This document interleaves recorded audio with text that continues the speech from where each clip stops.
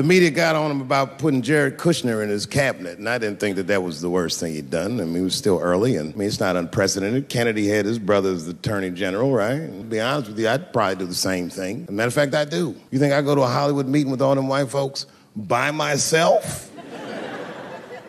I bring my nigga Mac Mittens from the streets. I don't even know his real name. Everybody just calls him Mac Mittens.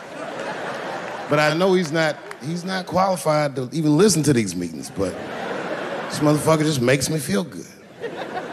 And all the white people look at me like, Dave, do you mind asking your friend Mac Mittens to excuse us so that we can talk business? And I say, fuck that. Anything you say to me, Mac Mittens can hear that shit.